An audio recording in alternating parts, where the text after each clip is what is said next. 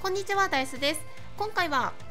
ポケモン公式から激レアなポケモン色違いのメロエッタの配布情報が入りましたのでまとめていこうと思います。メロエッタ自体は今作スカーレット・バイオレットのダウンロードコンテンツゼロの秘宝内で入手ができるようになっていますが色違いのメロエッタに関しては今まで未解禁でしたので今回で初解禁です。しかも特別なポケモンとしてプレゼントでもらえるようになるっていうのはかなり嬉しいですよね。もうすでに知ってるっていう方もいるかなと思うんですけど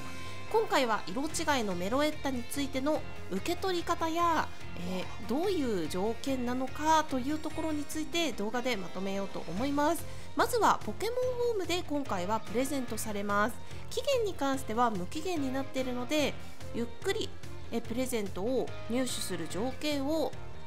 進めていくということが可能です。無期限なのはかなり嬉しいですしポケモンホームだったらいろんな方が使ってるんじゃないかと思います。条件に関してはえポケモンホームの今作スカーレット・バイオレットのソフト図鑑の完成です。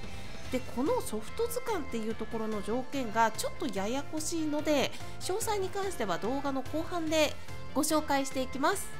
続いて配布になるメロエッタについてです。メロエッタは色違いのメロエッタです。プレシャスボール入りのレベル50個体での配布になります。持ち技は古の歌エコーボイスサイケ光線歌うの4種類の技です。努力値などは振られておらず特性は天の恵みで性格は控えめでの配布です。親名が今回はポケモンホームからなのでホームになっていることと ID に関しては241016になっているそうです。ここは固定になっています。ただソフトに動かしてきた時に性格控えめでなんちゃらのメロエッターってもう1個ねなんかサブ性格みたいなのがあるはずなんですけどそこに関しては特に言及がなかったのでえ違う可能性もあります。まあ、プレシャスボール入り個体っていうことでここもかなり嬉しいですよね。でまだ受け取ってないので何とも言えないんですけど多分配布のポケモンなので特別なリボンとか持っているはずかなと思います。もうすでに受け取ったよっていう方はぜひコメントで教えていただけると嬉しいです。続いて条件のポケモンホームのパルデア図鑑の完成についてお話ししていこうと思います。この条件なんですけどだいぶややこしいのでもうすでにあれパルデア図鑑って登録終わってるよねっていう方でももらえないっていう方がいると思います。なんでもらえないのかっていうところも含めてお話ししていこうと思いますので最後まで見ていただけると嬉しいです。まず今回条件になっているソフト図鑑についてはパルデアの図鑑と北上の図鑑とブルーベリー図鑑の3つの完成が必要です。スマートフォン版のポケモンホームでソフト図鑑っていうところが見れるようになってるんですがその中のパルデア図鑑北上図鑑ブルーベリー図鑑の3つを完成させることで不思議な贈り物に色違いのメロエッタがプレゼントとして届いてそれで受け取れるようになります。えまずソフト図鑑っていうところで考えると北上図鑑とブルーベリー図鑑の完成も必要ですのでダウンロードコンテンツゼロの秘宝の購入が必須になります。そしてソフト図鑑自体がポケモンホームのスイッチ版では確認ができません。受け取りに関してもスマホ版の不思議な贈り物での受け取りになります。この2点からソフト図鑑は今回の条件としてはスマートフォン版のポケモンホームを使っていることが必要になりますのでまだポケモンホームスイッチ版だけだっていう方はスマホ版のポケモンホームをダウンロードしてえ必ず対象のスイッチのポケモンホームと連携をしてください。続いて受け取り条件になっているソフト図鑑の登録に関してです。これもともとのソフト図鑑の仕様によるところで受け取れなかったっていう方が出てきてると思うんですけどポケモンホームのソフト図鑑の仕様は各ソフトで入手したポケモンに限り登録が入ります。全国図鑑はどのソフトで入手しても、まあ、ポケモンとして登録されていったんですけどソフト図鑑に関しては各ソフトの中で入手したポケモンがポケモンホームに移動された時に登録されます。なので今回のえー、色違いのメロエッタを入手するための条件のソフト図鑑というところに関してはスカーレット・バイオレット内で入手したポケモンをポケモンホームに移動した時に登録されるということになっていますので条件が満たず全国図鑑の登録があってプラスでスカーレット・バイオレットで、えー、登場した新ポケモンもいるんだけど入手ができないっていう方が発生しています。はい。ちょっとねややこしいんですけどスカーレット・バイオレットで入手したポケモンだけが登録される図鑑だと考えていただければなと思います。なのでこの条件結構難しくなっています。はい。あのもともとねどのソフトで入手したポケモンでも全国図鑑で載るんですよ。それはねスカーレット版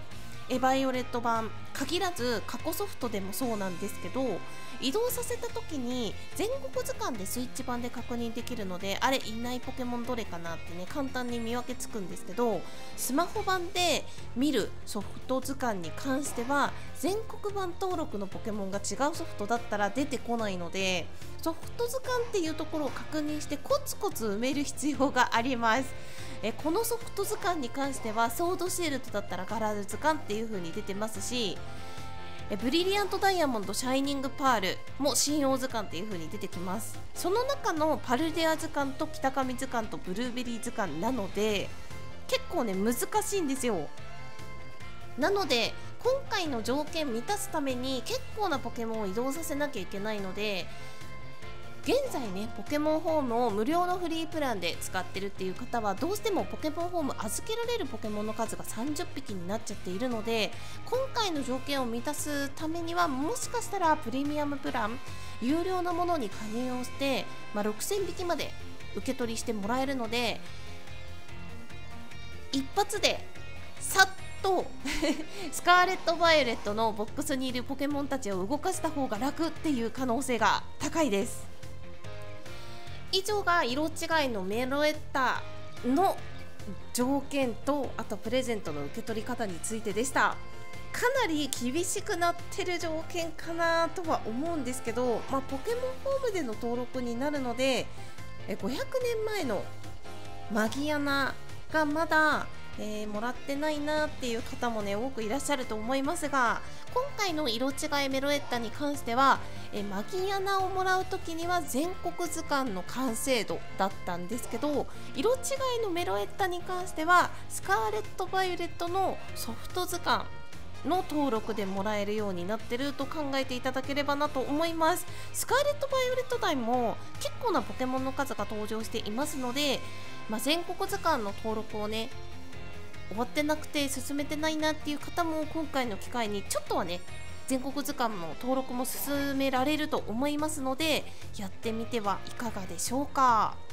また今年2024年の冬に関しては幻のポケモンゲット大作戦で幻のポケモンと道具ゲットできるキャンペーンも始まる予定になっているのでその辺りも含めると幻のポケモンちょっと熱い年になったんじゃないかなと思います。まだこちらのゲット大作戦に関しては詳細出てきてないですが2024年冬ということなので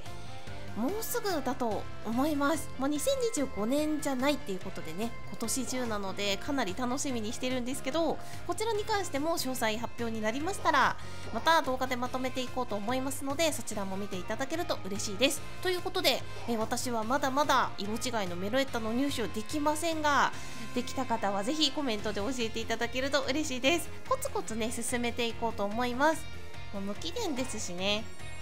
いつになるかわからないですがいつか500年前のマギアナと色違いのメロエッタの入手ができるように頑張ります。はい。この動画が少しでも良かった方は高評価のボタンチャンネルのご登録コメントよろしくお願いします。最後までご視聴いただきありがとうございました。それではまた。See you!